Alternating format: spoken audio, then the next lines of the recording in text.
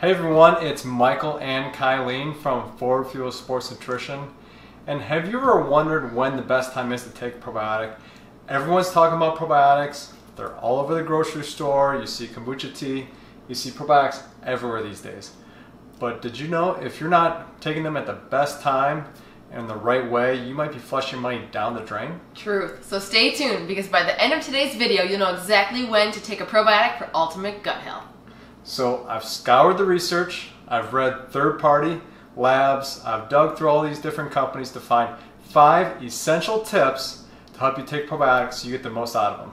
Tip number one, my favorite because it's a question I receive almost every day in my office. Should I be taking my probiotic with food or on an empty stomach? All right, the research is clear and the companies will tell you that hands down you should be taking your probiotic with food. So your stomach is a harsh environment. Having some food help decrease the harshness of that environment, water down some of the acidity, so they're more likely to survive. Truth. Number two, don't just take a probiotic with any meal or any particle of food. It should be a large meal. Okay, so there's different parts to the reason for this. So different strains of bacteria or microorganisms will survive based on different types of food that you digest. The other thing, as we said in uh, the first tip, was that more food that you have will decrease the acidity of that environment. So it makes for a nicer environment, it's less harsh, they're less likely to die off. So more food equals more substance for those microorganisms to survive on and a less harsh environment.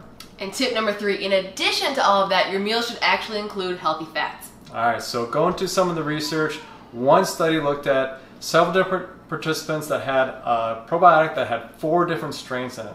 And they found when people consumed a meal that includes some healthy fat, that three out of the four bacteria in that probiotic had higher numbers of survival of the microorganisms. Truth. All right. And tip number four don't be that person that takes a hot cup of coffee in the morning, throws the probiotic back, and doesn't have anything else, right? Hot food, hot liquid, I should say, and a probiotic don't typically mix together, right? All right, so we're starting to hear an echo that having a harsh environment in your stomach is not good for these microorganisms. So, I mean, the definition of a probiotic is microorganisms that, when taken in adequate amounts, are beneficial to the host. So, it's not always bacteria, but it usually is. And so, these are little living things, and we need to make for a comfortable environment. We have to give them food, we can't have it too acidic. It has to be a comfortable environment for them to feast on, to thrive on, and survive. So, just having it with some coffee, having it with some soup, is not likely to help the cause. But you wouldn't just be eating or drinking coffee for breakfast, would you? Yeah, I know if you're following Forward Fuel Sports Nutrition, you're Of course not you're just not. having. Of course you're not only having a cup of coffee and that's it for breakfast. All right. Anyway, tip number five, last but not least.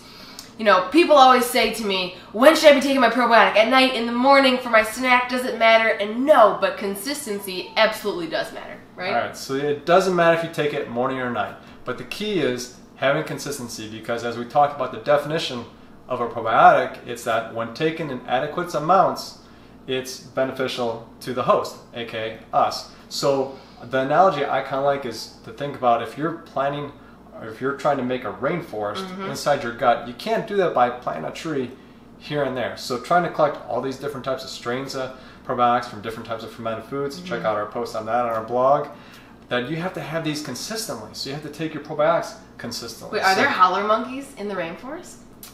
uh, there definitely is, and if howler monkeys were a probiotic, they'd be like the absolute best kind. But you Oh. probably hate it because it'd probably keep you up at night. But I'd be Okay. all excited. Well, but guess what else can keep you up at night? Uh, IBS, diarrhea. Yes, and we Gas do pains. know we do know from some of our research that probiotics help people with diarrhea and helps runners that have GI issues and diarrhea. So probiotics pretty much help True. everyone. Well, it's incredible what you can accomplish when you recalibrate the gut, really rebalance, I guess I should say. But if you don't take them consistently, you're probably not going to see those benefits. So Mm-hmm. you have to take them consistently. Sure. So those are our tips on the best time to take a probiotic. We do have a blog post on our blog if you want to check out and read more about that research. We have some other blog posts you might find helpful, such as the best strains of probiotics for you. So we know that you know some yogurts or kombucha might have this strain, and some other might have a different strain. And depending on what needs you have, whether it's you have diabetes, you have GI issues, you're a marathon runner, you're an explosive athlete. acne. Different types of strains will be de- beneficial to different people. So check out that blog post and you know exactly which strains you should be looking for in different products. And again, where do you find us? Forwardfuel.com. That's FWDfuel.com. And we have one more post for you. Check out our probiotic guide if you're looking for the best supplement. And if you like this, give us a big thumbs up, share us with your friends and subscribe and leave your comments below. We'd love to hear from you.